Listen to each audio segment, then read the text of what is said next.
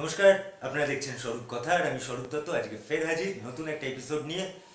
আজকের এপিসোডের বিষয় উনত্রিশে আগস্ট।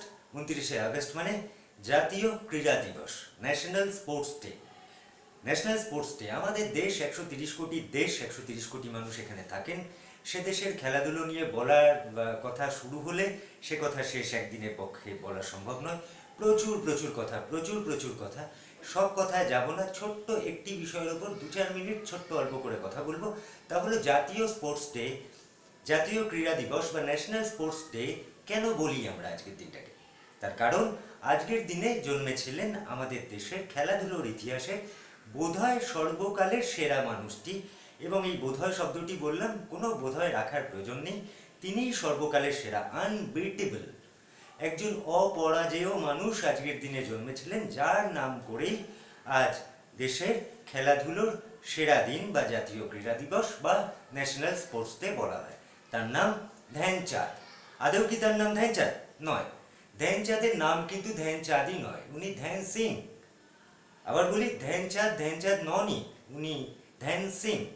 ধ্যান সিং এর জন্ম উনিশশো পাঁচ সালের উনতিরিশে আগস্ট। আজ যেমন উনতিরিশে আগস্ট দু হাজার কুড়ি তেমনি একশো পাঁচ বছর আগে উনিশশো পাঁচ সালের উনতিরিশে আগস্ট ধ্যান সিং জন্মগ্রহণ করেন এলাহাবাদে। এই এলাহাবাদ শহর থেকে অন্তত দুজন মানুষ বেরিয়েছেন, একজন ধ্যানচাঁদ আর একজন অমিতাভ বচ্চন।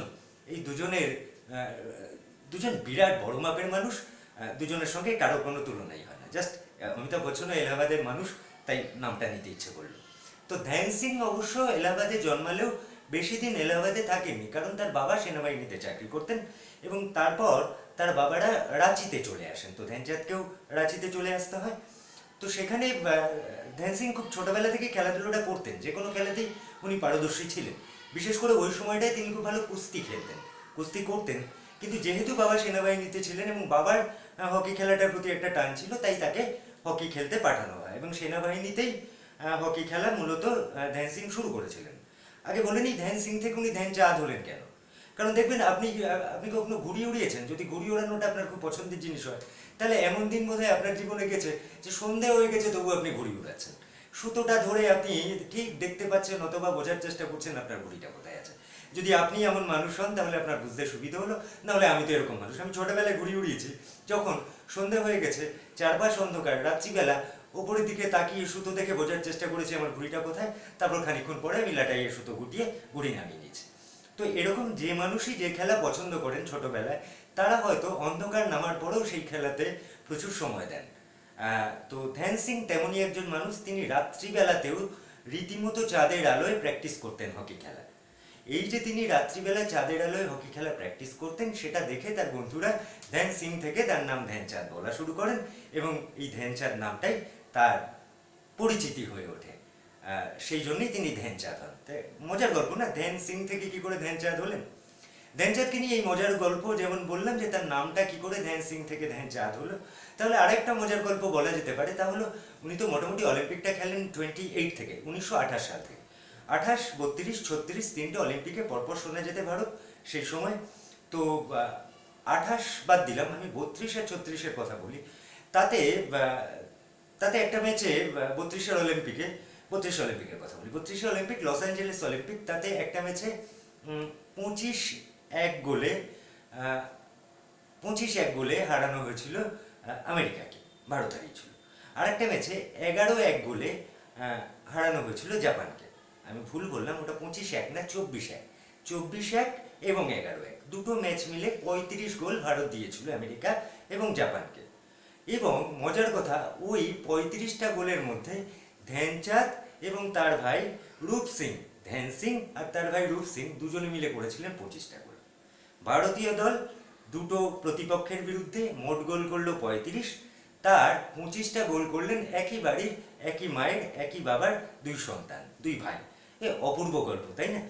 তো ওই ওই লস অ্যাঞ্জেলেস অলিম্পিকে আপনাদের মনে থাকলে থাকতে পারে, যদি জানা থাকে থাকতে পারে, অথবা পড়লে জানতে পারবেন, না হলে আমার গল্প থেকেই শুনতে পারেন চার্লি চ্যাপলিন চার্লি চ্যাপলিন তো বিরাট মাপের মানুষ, তার মতো অভিনেতা তো এই পৃথিবীতে তার আগে জন্মাননি, সে সময় জন্মাননি, আজ জন্মায়নি, এবং আমার মতো বহু মানুষের স্থির বিশ্বাস আর কোনোদিনও জন্মাবেন না। তো চার্লি চ্যাপলিন মিট করতে এসেছিলেন ধ্যানচাঁদের সঙ্গে, ওই অলিম্পিকের সময়।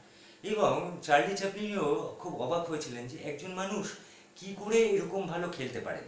ধ্যানচাঁদ খুব ভালো স্পিকারও ছিলেন, খুব ভালো কথা বলতেন। আর ওরকম মন্ত্রমুগ্ধ হয়ে যাওয়ার মতো খেলা মানে তাকে বলা হয় তো বলা হয় হকির জাদুকর, তার হকি স্টিকটাতে নাকি আঠা দেওয়া আছে, বলটা ওখান থেকে সরে না। একটা মানুষের সাধনা, তার অনুশীলন, তার প্রতিভা এবং তার অভিজ্ঞতা রোজ প্র্যাকটিস, এগুলোর মিশেলে তবে না ধ্যানচাঁদ তৈরি হতে পারে। তো ধ্যানচাঁদকে দেখে চার্লি চ্যাপলিনের মতো অভিনেতা তিনিও খানিকটা বাকরুদ্ধ হয়ে গিয়েছিলেন যে, আমার অভিনয় দেখে লোকে ঘাবড়ে যায়, আমি তো ঘাবড়ে যাচ্ছি। হ্যাঁ, ধ্যানচাঁদের খেলা দেখে। তো চার্লি চ্যাপলিনের নাম নিলাম যে ধ্যানচাঁদের সঙ্গে উনি মিট করতে এসেছিলেন। সে প্রসঙ্গে বলা Don Bradman Sir Don Bradman ক্রিকেটের সর্বকালের সেরা ক্রিকেটার ক্রিকেটের রাজা ক্রিকেটের সম্রাট যেমনটাই আপনি বলে থাকুন। স্যার ডন ব্র্যাডম্যানও একবার ধ্যানচাঁদের সঙ্গে দেখা করেন। সেই মিটিংটাও দারুণ ছিল এবং ব্র্যাডম্যান এতটাই খুশি হন ধ্যানচাঁদের সঙ্গে দেখা করার পর যে তিনি ধ্যানচাঁদের সঙ্গে ছবি তুলতে আসেন নিজে। দুজনে মিলে সেই সময় তখন তো সেলফি হতো না মোবাইলে তখন দুজনে মিলে একটি ছবি তোলেন। সেই ছবিটা খুব বিখ্যাত হয় সেই সময়। যে হকির সেরা খেলোয়াড় এবং ক্রিকেটের সেরা খেলোয়াড় দুজনে যখন এক ফ্রেমে ধরা পড়েন। এই প্রসঙ্গে মনে পড়ছে, চার্লি চ্যাপলিন এলেন দেখা করতে ধ্যানচাঁদের সঙ্গে ডন ব্র্যাডম্যান এলেন ধ্যানচাঁদের সঙ্গে দেখা করতে। আর ধ্যানচাঁদকে তো জার্মানির নাগরিকত্ব নিতে বলেছিলেন অ্যাডলফ হিটলার। হিটলার বলেছিলেন যে, আপনি নাগরিকত্ব নিন জার্মানির এবং জার্মানির হয়ে খেলুন। কিন্তু ধ্যানচাঁদ সে কথা পছন্দ হয়নি এবং ওই রবীন্দ্রনাথ যেমন নাইটহুড প্রত্যাখ্যান করেছিল, তো এটা পেয়ে প্রত্যাখ্যানের ব্যাপার না না না, ওসব নাগরিকত্ব নিতে পারব না, আমি আমার ইন্ডিয়াতে দিব্যি খেয়েছি ভালো খেয়েছি বলে উনি হিটলারের প্রস্তাবটাকে নাকচ করে দিয়েছিলেন। উনি আর খেলেননি। তো এগুলো গেল ধ্যানচাঁদকে নিয়ে মজার কথা। ধ্যানচাঁদকে নিয়ে সামান্য দু চারটে গল্প যা মানুষের জানতে ভালো লাগবে। কারণ আমাদের দেশের ন্যাশনাল স্পোর্টস ডে যেই লোকটার জন্য, সেই লোকটার সম্পর্কে এটুকু জানব না। এই জানার দিনে আমার একটা ছোট্ট প্রশ্ন এই যে, আজ ধ্যানচাঁদের জন্মদিন বলে গোটা দেশের সাতাশ জন ক্রীড়াবিদকে অর্জুন পুরস্কার দেওয়া হলো পাঁচজন ক্রীড়াবিদকে খেলরত্ন পুরস্কার দেওয়া হলো, পনেরো জন ক্রীড়াবিদকে দ্রোণাচার্য পুরস্কার দেওয়া হলো। ভালো, আপাতত যারা খেলাধুলো করছেন, যারা কোচিং করাচ্ছেন, তাদেরকে আমাদের দেশের সেরা স্পোর্টস পার্সোনালিটির নামে স্বীকৃত বা তার তার জন্মদিনে সেরা সম্মানে ভূষিত করা এর থেকে ভালো জিনিস হতে পারে না। তা তো গেল। ধ্যানচাঁদের জন্মদিনে, আজকের দিনের বা তখনকার দিনের খেলোয়াড়দের সম্মান করছেন এ তো খুব ভালো কথা। কিন্তু ওই কথাটা কোথায় গেল? যে কথাটা গত দশ বছর, পনেরো বছর ধরে ভারতীয় রাজনীতিতে এবং ভারতবর্ষে খুব চলছিল, তা হলো এই ভদ্রলোককে ভারতরত্নটা দেয়া হবে ঠিক কবে? মানে ধ্যানচাঁদের জন্মদিনে আরও পঁচিশ আর পনেরো, চল্লিশ, পাঁচ, পঁয়তাল্লিশ এবারই পুরস্কার পেয়ে গেল। গতবারও পেয়েছিল এই বছর আরও বেশি টাকা করে পেল, পাঁচ লাখের জায়গায় পনেরো লক্ষ টাকা করে পেয়ে গেল, সব তো ভালো হলো। আগামী বছরেও তো পঁয়তাল্লিশ জনই পাবে বা তার থেকে পঞ্চাশ, পঞ্চান্ন পেলে আমাদের ভালোই লাগবে। কিন্তু যার সম্মানে, যার জন্মদিনের দিনে আমরা এত লোককে পুরস্কৃত করছি, তাকে অবশ্যই সম্মান জানিয়েই করা হচ্ছে। তার নামেই তো ন্যাশনাল স্পোর্টস ডে কিন্তু একটা ভারতরত্ন দিতে আমাদের এত গড়িমসি কোথায়? সে তো ইউপিএ সরকার আমল থেকে, ইউপিএ আমল যখন ইউপিএ ইউপিএ সরকার চলছে তখন থেকে ধ্যানচাঁদকে এই পুরস্কারটি দেওয়ার কথা চলছে। তখনও বলছিল, দিচ্ছি, দেব, হচ্ছে, হবে, এটা বিল পাস হবে। তো এতদিনে ধ্যানচাঁদ বেঁচে থাকলে আরও চারশো গোল করে ফেলতেন। বলা হয় না যে তিনি চারশো গোল করেছেন তার সময়। আপনি ভাববেন, হকি খেলায় চারশো গোল কোনো ব্যক্তিগত মানুষ যখন করছেন, ওটা বিরাট ব্যাপার, যদি আপনার হকি সম্পর্কে সামান্য আইডিয়াও থাকে। তো সেই মানুষটাকে আজও ভারতরত্ন দেয়া হলো না। আমার এই বিষয়ে সত্যজিৎ রায়ের কথা মনে পড়ছে বা বহু মানুষের কথা মনে পড়ছে। যাদেরকে আমরা সম্মানিত করতে পারিনি, আমাদের সম্মান দিতে এত সময় লাগে যে বিদেশ তার আগে দিয়ে ফেলে। তো বিদেশ যখন সম্মানিত করে ফেলে, পথের পাঁচালী বা সত্যজিৎ রায় যখন বাইরে গিয়ে সম্মানিত হয়ে ফেলে হয়ে পড়েন, বাইরের মানুষ তাকে সম্মানিত করেন, তখন আমাদের, ওরে বাবা, সবাই বাইরে করে ফেলেছে, তাহলে এবার এবার তোমাকে দিতে হবে। তো ধ্যানচাঁদকে কি এই জন্য ভারতরত্ন দেয়া হচ্ছে না? কারণ তিনি বিশ্বরত্ন বলে কোনো পুরস্কৃত এরপর হয়তো আমাদের ইউএনও রাষ্ট্রসংঘ কোনো দিন দেবেন বা খেলাধুলোর আরও কোনো বড় অর্গানাইজেশন তারা দেবেন। তবে কি এমন ঘটনা ঘটবে? তবে ধ্যানচাঁদ সত্যিই ভারতরত্ন হবেন? এই বিষয়ে বোধহয় এবার একটু ভাবার সময় এসছে। পাঁচ লাখকে পনেরো লাখ অর্থমূল্য করছেন ভালো কথা। বেশি বেশি মানুষ স্পোর্টস পার্সোনালিটি পুরস্কৃত হচ্ছেন খুব ভালো কথা। সব তো ভালো হলো। যে মানুষটা যে মানুষটা দেশের সর্বকালের সেরা ক্রীড়াবিদ, তাকে ভারতরত্ন বলতে আজকেও যদি আপনাদের গরিমেশি হয়, তাহলে আর আপনারা খেলাধুলোর প্রতি সম্মানটা দেখালেন কোথায়? সেই বিষয়েই বলা, যে দেখছিলাম এই করোনা আবহেই খেলা তো চলছিল। ইংলিশ প্রিমিয়ার লিগ ফের শুরু হলো। ইংলিশ প্রিমিয়ার লিগ ইংল্যান্ডের খেলা ইংল্যান্ডেই শেষ হলো।